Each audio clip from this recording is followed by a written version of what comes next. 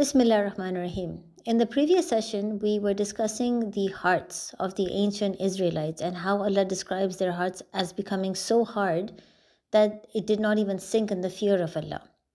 So, now having described the behavior of the ancient Israelites and the main characteristics that made them very similar to Iblis, what you can see now happening in the surah is that it shifts to discussing the case of present day Jews in particular, the Jews that were there at the time of the Prophet Muhammad, peace be upon him, in Medina. In other words, the question that Allah is now going to address is that if the ancestors were greedy, ungrateful, they violated Tawheed, and they loved to challenge Allah's commands, what about the case of present day Jews?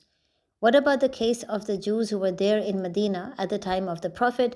Were they doing the same thing? Or is this just characteristic of their ancestors? So in verse 75, Allah says, Do you have hope, O believers, that they will believe in you? While a party of them used to hear the words of Allah and then distorted it after they had understood it while they were knowing. Now, many of the Arabs in Medina were very confused at the response of the Jews to Prophet Muhammad, peace be upon him. And the reason for this is because Jews at that time were considered by the Arabs to be a very literate nation in the sense that they had always received so many messengers and books that the Arabs believed that Jews had a lot of knowledge regarding Allah's message. Moreover, when Jews migrated and settled in Medina, they kept informing the local Arabs that a messenger would be coming as prophesied in their books. And this is really important because at times what would happen is that the Jews and the Arabs would have a lot of fights. And every time when the Jews would lose, they would warn the Arabs and let them know that our final prophet is coming. It's mentioned in our books, and when he comes, then we will have the upper hand and we will easily be able to defeat you. So, of course, when the messenger did arrive as prophesied, the local Arabs could not understand why the Jews denied him, even though he was propagating the same message as was present in the Torah. So, as a response to this confusion, Allah explains the transgressing behavior of the Jews in Medina, just like He described the transgressing behavior of their ancestors. But this time, there's a difference in Allah's strategy. In the case of the ancient Israelites, Allah would narrate the multiple cases of transgression and then He would tell us the punishments that He gave them. But in the case of the Jews in Medina, after narrating their transgressions, Allah provides a logical argument forcing the Arabs and the Jews to reflect. Punishment is now being withheld because, as mentioned before, the Jews in Medina had not witnessed the same kind of miracles as their ancestors, and this is why Allah had a very lenient approach towards them. Therefore, Allah continues to admonish them while the doors of Tawbah are open. Punishment is now reserved for the day of judgment. Now, the first charge that is being made against the Jews was that they loved to distort Allah's commands and they loved to hide the truth. This is explained with multiple examples provided from verses 76 to 86. So while the ancestors would love to challenge or mock Allah's commands, their descendants, in other words, the Jews in Medina, they went a step further by making alterations to Allah's commands. They distorted Allah's books in their attempt to prevent their own people from embracing Islam. And of course, in doing so, they would argue that Muhammad, peace be upon him, was not a prophet because he was not bringing a message that was identical to the message in their own books. Because don't forget, at that time, there were many naive Jews as well. They were Jews who were listening to the message of Prophet Muhammad, peace be upon him, and they did start to believe that he seems to be saying the same thing that was said by Hazrat Musa and Hazrat Ibrahim so he must be a prophet. So, in order to ensure that the naive Jews do not embrace Islam, their scholars would make distortions to their own Torah, and then they would confuse the naive Jews by telling them that our books give a message that is very different to the message being given by this man, Prophet Muhammad, peace be upon him, so he cannot be a messenger. In doing so, they were concealing the truth and not just mocking Allah's commands, not just challenging Allah's commands like their ancestors, they were going one step further and they were actually making distortions to Allah's commands. They were changing it. Now, of course, you can imagine when some of the more learned Jews the rabbis and the scholars, when they start to make claims that the message being given by Prophet Muhammad, peace be upon him, is not the same message as is in their books, this does raise some kind of speculation and confusion regarding the legitimacy of the Quran. Because you have a lot of Arabs at that time who would look towards the Jews and they believe that, okay, the Jews are extremely literate. So they have all the knowledge because God sent them so many prophets and so many books. If the Jews are telling us that this man is a prophet, then he must be a prophet. And if the Jews are telling us that this man is not a prophet, then perhaps he just isn't. So, because this was raising doubt and confusion, Allah is now providing a counter argument, encouraging the Muslims to reflect. If history has revealed that the ancient Israelites were characterized by rebellion and transgression, spanning centuries, can it not be expected that their descendants will behave in the same way? Given the history of Bani Israel, why were the Muslims confused at the reaction of the Jews and Christians towards Muhammad, peace be upon him? This is what they've always done. For example, if a child is raised in a family known for lying and deceiving, can it not be expected that the child will grow up to lie as well? Yes, he can change himself, he can learn from his mistakes, but initially, it would be normal to expect that the child will exhibit the same traits of his family members because that is what he has seen all his life while he was raised. Imagine then the case of the Jews who had witnessed generations of lying, deceit, and ingratitude. Because this is something that their ancestors had always done. So, would it not be normal to expect the same initial reaction from the Jews in Medina? So, you can see that Allah is providing a counter argument now. He is intervening and providing an argument to make sure that the polytheist Arabs as well as the Muslims don't get confused by the reaction of the Jews. Right? So now he's giving them an argument and making them reflect and understand that this is characteristic of the Jews. This is how they have always behaved. So don't let this cloud your judgment. Then in verses 76 and 77, Allah says, And when they meet those who believe, they say, We have believed. But when they are alone with one another, they say, Do you talk to them about what Allah has revealed to you so that they can argue with you about it before your Lord? Will you not reason? But do they not know that Allah knows what they conceal and what they reveal? Now, what this verse means is that there were some Jews who would listen to the Prophet Muhammad, peace be upon him, and to the Muslims. And when they would hear the message, they would say, Yes, we do believe as well. In other words, you all are talking about Tawheed, and we believe in Tawheed too you are talking about the same message that is there in our books. But then, as soon as they would go back to their learned Jews, to the scholars, and they would share all of this information with the scholars, the scholars would get angry at them and they would sternly rebuke them, telling them, Do not share the stories that are in our books with the Muslims. And this again makes a lot of sense because the more that Muhammad, peace be upon him, would share knowledge and information, the Arabs would turn towards the Jews and ask them that, okay, he's saying this, are all of these things in your book as well? And if the Jews tell them, yes, the exact same message, the exact same stories are in our books, that just provides proof against the Jews. Because then the Arabs will be asking the Jews that if everything is the same, why are you not accepting him? In fact, they're providing an open testimony against themselves. And plus, this will also make a lot of the Arabs realize that, okay, this man has to be a prophet, so we should embrace Islam. So the learned Jews, in other, in other words, the scholars or rabbis, they instructed their own people that do not share the contents of the Torah with the Arabs or with the Muslims because you would only be providing proof against yourself. Unfortunately, the local Arabs were not very well rehearsed in the Hebrew language, so they could not read the Old Testament themselves to confirm that Muhammad, peace be upon him, was bringing a message that was exactly similar to the message received by the previous ummah. In fact, by planning to conceal the truth from the Muslims, the Jews failed to realize that nothing can be concealed from Allah. He will hold them accountable on the day of judgment for hiding the truth, and everything that they're trying to hide, Allah will actually reveal it through revelations in the Quran. Every story of their ancestors that they're trying to hide, Allah will reveal it in the Quran. You cannot hide anything from Allah. Then in verse 78, Allah says, And among them are unlettered ones who do not know the scripture except in wishful thinking, but they are only assuming. Now, there were three main influential Jewish tribes that were there in Medina at the time of the Prophet Muhammad, peace be upon him. And these three Jewish tribes were called Banu Qurayza, Banu Nadir, and Banu Kainuka. Now, although they appear to be Arabized Jews, and Arabized Jews means that they were Jews who were descendants of Bani Israel, but because they were living in Arabia, they started to speak Arabic. That's, that's what it means to call them Arabized Jews. So although these Jews, Banu Qurayza, Banu Nadir, and Banu Kainuka, they appear to be Arabized Jews, this verse in the Quran suggests that perhaps some of them were just Arabs practicing Judaism.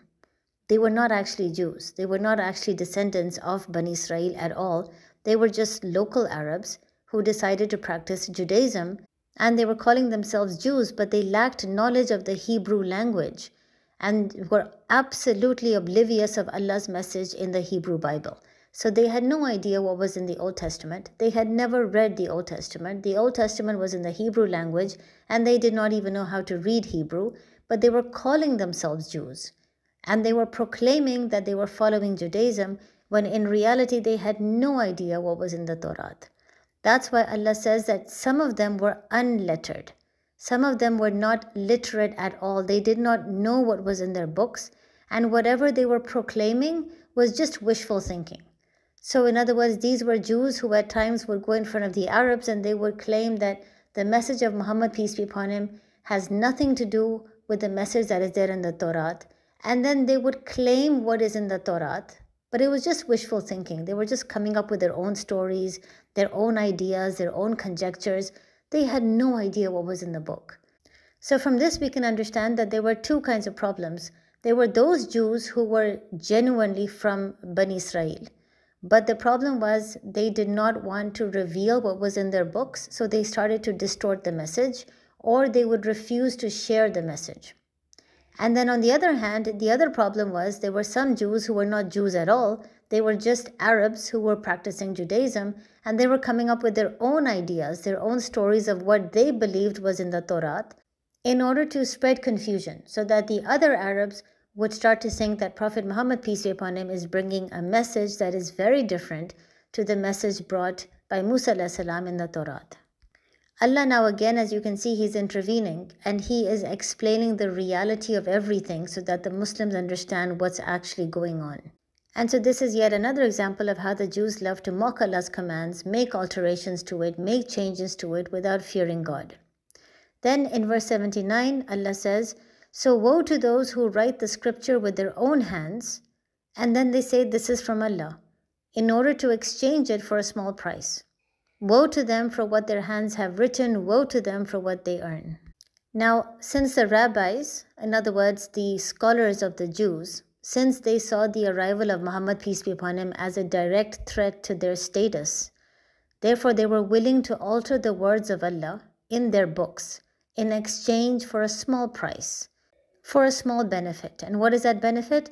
The fact that they will be able to temporarily hold their power and reinforce their superiority over Bani Ismail. That's it.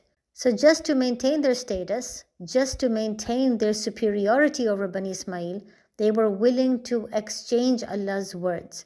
They were willing to make alterations and tell their people or tell the Arabs that this has come from Allah, when in fact it was not from Allah, it was something that they had written with their own hands.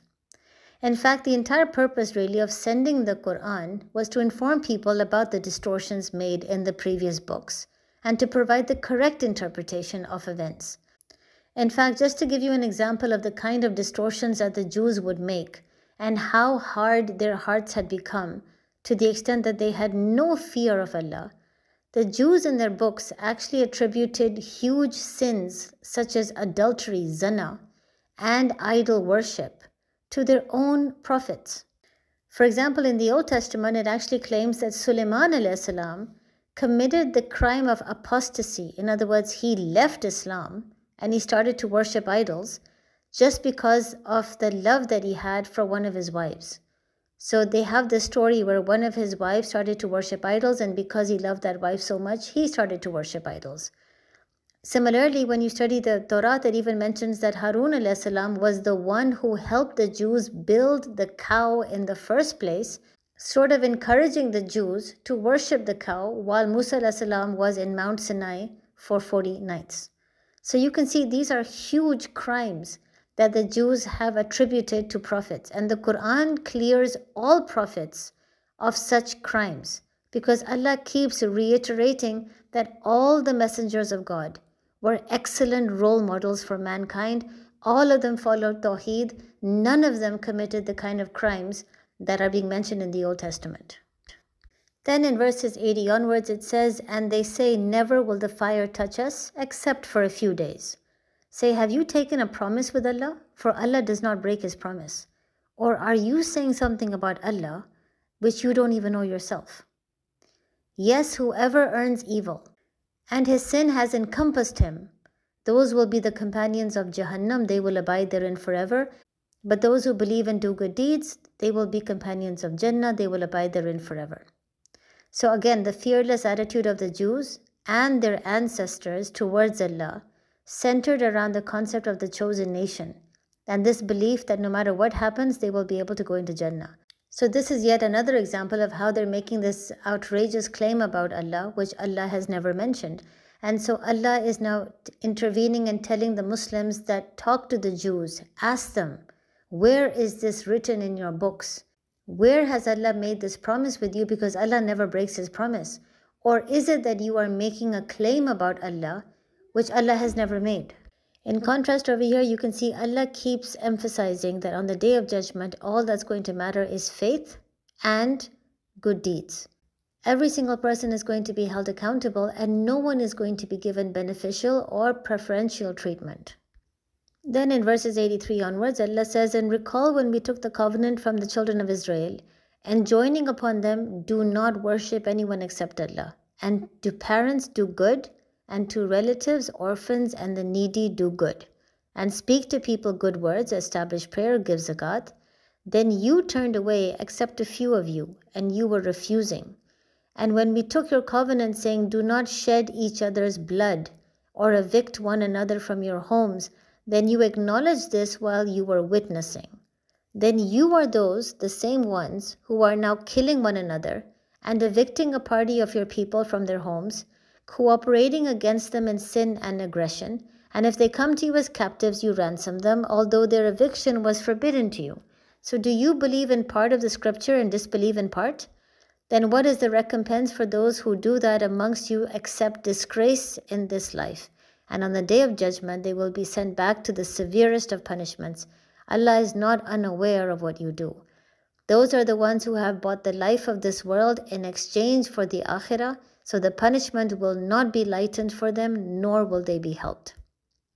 Now, just as the ancestors were guilty of transgressing the commandments given to them, their descendants, in other words, the Jews in Medina, were guilty of the same crime. They were told to do good to speak the truth, to help other people, but instead they concealed and distorted the truth and they only spread evil. In fact, the Sharia given to Muhammad, peace be upon him, was very similar to the Sharia of the Jews. And in this regard, it is impossible to conceive that the Jews could not identify the message brought by Muhammad, peace be upon him, as being from the same God. It is impossible to even conceive that the Jews just got confused because the Sharia given to Muhammad, peace be upon him, is very similar to the Sharia given to Musa. Now, these verses give a further example illustrating how the Jews would challenge or make fun of Allah's commands, just like their ancestors. And their rabbis, or in other words, their scholars, would just silently ignore this behavior. And this can be seen in verses 84 to 86. Before the arrival of Islam, Medina was dominated by two main Arab tribes, the Aus and Khazraj.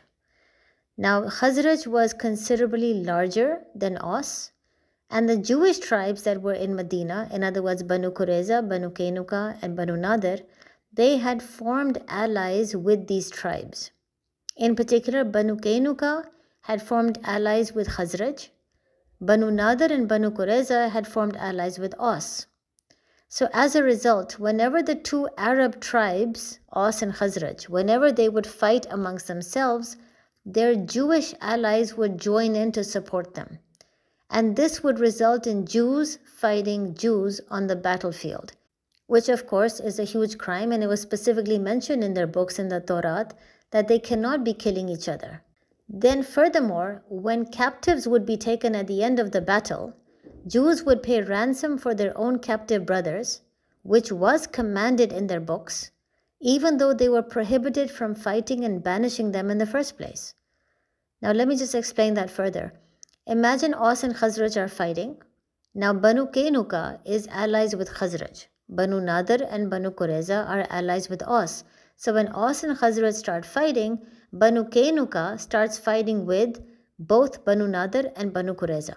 Now what that means is that on the battlefield there were Jews from Banu Kainuka who were fighting with Jews from Banu Nadir and Banu Qurayza. And then furthermore when the battle would end, so let's assume that there was a battle and it ended and Khazraj won. Now if Khazraj and Banu Kainuka, if they both have won, then they would take over the land of the enemy which means that they would force people from Banu Nadir and Banu Qurayza and Aus tribe to be banished from their land. So when you take over the land of the enemy, then of course you will kick out the enemy. So a lot of these Jews and Arabs from Banu Nadir, Banu Qurayza and Aus, the party that lost the battle, they would be banished and many of them would be taken as captives back to Khazraj and Banu Kainuka. Now at that time when Jews would see that another fellow Jewish brother has come to them as captives, then they would feel bad for him. They would offer money to ransom him themselves so that he could gain freedom. And this, of course, is a command that is mentioned in the Torah that if a Jewish brother were to come to them as a captive, then they should ransom him and grant him freedom. So that part of the Torah they were adhering to. But the other part of the Torah, which mentioned that you're not supposed to banish and fight with your Jewish brothers in the first place, that part they were simply ignoring. So this is what Allah is saying over here that they're making a complete mockery of Allah's commands. They ignore those commands which conflict with their personal interest, and they follow only those commands which are very well aligned with their interests. In other words, at this time in Medina, building alliances with the Arab tribes was more important for the Jews in terms of personal security than following Allah's rules. So the Jews decided to help the Arabs fight against each other. And they were willing to breach the divine law by killing each other on the battlefield, only to later pay ransom to free their captive Jewish brothers as a means of hopefully pleasing God. In fact, at this stage, it is possible to draw a great similarity between the actions of the Jews prior to the arrival of Islam and the action of the Jews after the arrival of Islam. And this is where you can see that just by mentioning these verses, Allah is not just telling the Jews where they're going wrong, but there is a hidden message in this for the Jews, a hidden warning.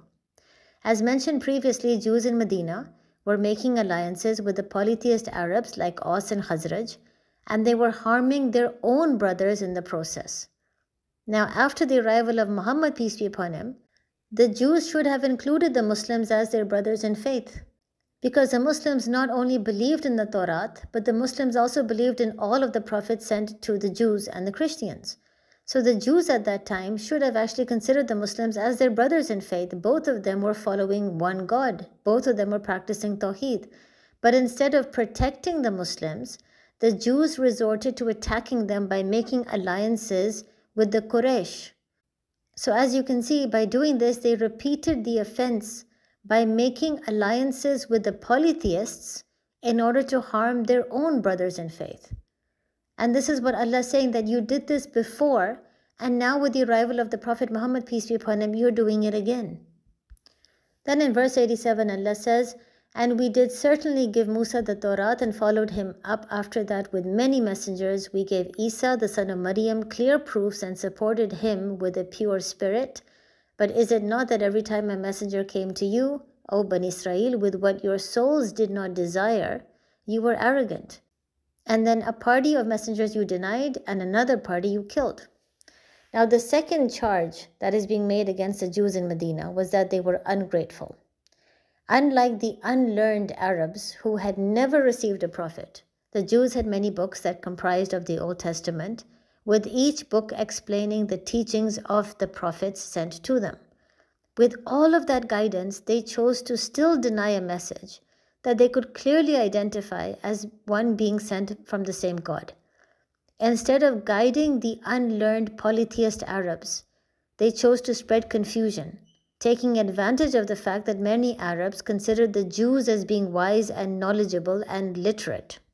So, following the footsteps of their ancestors who challenged their prophets every time a command was sent, instructing them to do something against their will, the Jews in Medina did the same thing. They denied the Prophet Muhammad, peace be upon him, who was sent during their time. They strove to execute him. They wanted to destroy Islam. And by doing all of this, they were simply revealing their ingratitude for all the guidance, the prophets and books that Allah had sent them. In other words, all that guidance that Allah gave them was not so that they could use it to go against the final prophet. All of that guidance that Allah gave them was so that they would have knowledge to recognize the final prophet and that they should be leaders guiding everyone else to the final prophet. But instead, they took advantage of their books and all the prophets they took advantage of the fact that the Arabs looked up to them and they used that to confuse the Arabs. So, now, consistent with Allah's methodology, Allah now provides a counter argument, encouraging the Jews to reflect. If they disbelieved in Muhammad, peace be upon him, because he belonged to the descendants of Ismail and not Isaac, then why did the Jews disbelieve and disobey their own prophets as well? In other words, if the Jews were saying we will not accept Muhammad, peace be upon him, simply because he is from Bani Ismail, then why is it that they even chose to disbelieve and disobey their own prophets who were from Bani Israel? For instance, if you read the Old Testament, Prophet Micah criticized the income inequality that existed amongst the Jewish tribes, with some being very rich and some being very poor. And he criticized it and said this is wrong, it's not a part of Islam. In fact, he also strongly condemned all the priests and the judges who would accept bribes to alter the scriptures or the rulings. So therefore the Jews went against him. Prophet Isaiah, he was also up from Bani Israel. He was murdered by the Jewish king Manasseh at that time because the prophet accused the king and all of the other Jews of transgressing the commands of God. Similarly, attempts were made to kill Prophet Elijah for showing miracles to prove that the deities and the idols that some of the Jews started to worship were actually wrong and powerless. And then, of course, we know Isa salam. He was sent to Bani Israel and he strongly condemned the rabbis for their misrepresentation of Allah's religion, for making distortions, and the rabbis charged him with blasphemy. Moreover, as an attempt to give a logical explanation for the miracles he could perform, Isa was accused of being possessed by demons. So, in other words, just to make sure that nobody pays attention to Isa the rabbis went to the extent of accusing Isa of blasphemy. They made accusations that Isa is calling himself God or he's calling himself divine, when at no point did Isa make any such claim. And at the same time, because he could perform so many miracles and the people were confused at why he could, he could perform miracles, the rabbi suggested that Isa could perform miracles because he was possessed by a demon. So Allah is now reminding them of all the prophets He sent to them with the same message. Not only were the ancestors ungrateful by ignoring prophets, but their descendants, the Jews in Medina, were now repeating the offense. Because Allah has now sent them a final prophet to guide mankind. Instead of being grateful to Allah for this act of mercy by sending a prophet, they chose to deny that prophet and extinguish his message. So, inshallah, we'll stop over here, but I want you again to now reflect on the behavior of Bani Israel and make comparisons with the way that we are now behaving as an ummah. To what extent can you see a similarity between both of us? If the Jews have been accused of being ungrateful, are we as a Muslim ummah not ungrateful? If the Jews were accused of making distortions to Allah's commands, picking and choosing which command they will follow, which they will ignore, as an ummah, are we not doing the same thing? If the Jews were accused of concealing certain things that were mentioned in their books, or simply not knowing what was in their books, are we as an ummah not doing the same thing, where many of us don't even know what's in the Quran? Or at times we do know, but we just choose to ignore it, we choose to conceal it. This is what Allah is telling us that do not follow the characteristics of the Jews because then a time will come when our hearts will become so hard that it will not sink in the fear of Allah. Assalamu alaikum.